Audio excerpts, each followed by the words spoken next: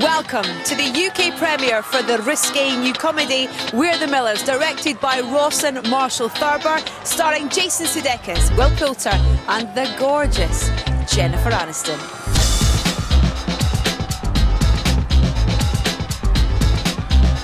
How are you? I'm so good. So happy to be here. Rose is great. I love you being dirty. Thank you. Do you? I appreciate that. I had fun. Yeah. Yeah.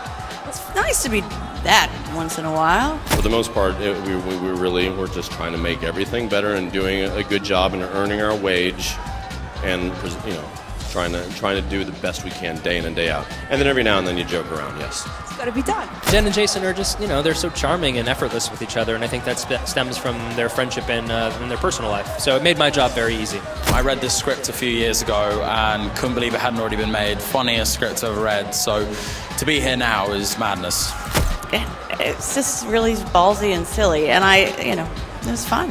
Jennifer Aniston, everyone.